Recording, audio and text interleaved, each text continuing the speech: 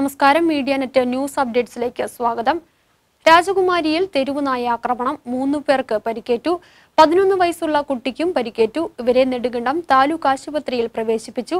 ഉടുമ്പൻചോര രാമനാഥൻ ഇല്ലം വീട്ടിൽ ദർശൻ കുളപ്പറച്ചാൽ തേവർക്കാട്ട് കുര്യൻ രാജകുമാരി അറയ്ക്കക്കുടിയിൽ ജെയിംസ് മാത്യു എന്നിവർക്കാണ് തെരുവുനായയുടെ ആക്രമണമേറ്റത്.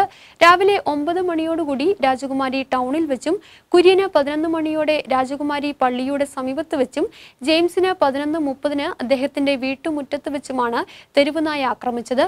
മൂവരെയും രാജകുമാരി കുടുംബാരോഗ്യ കേന്ദ്രത്തിലെത്തിച്ച് പ്രഥമ ശുശ്രൂഷയും ഐ ഡി ആർ ബി വാക്സിനും നൽകി. ഇമ്മ്യൂണോ ഗ്ലോബലൈൻ വാക്സിൻ നൽകുന്നതിനായി നെടുങ്കണ്ടം താലൂക്ക് ആശുപത്രിയിൽ പ്രവേശിപ്പിച്ചു.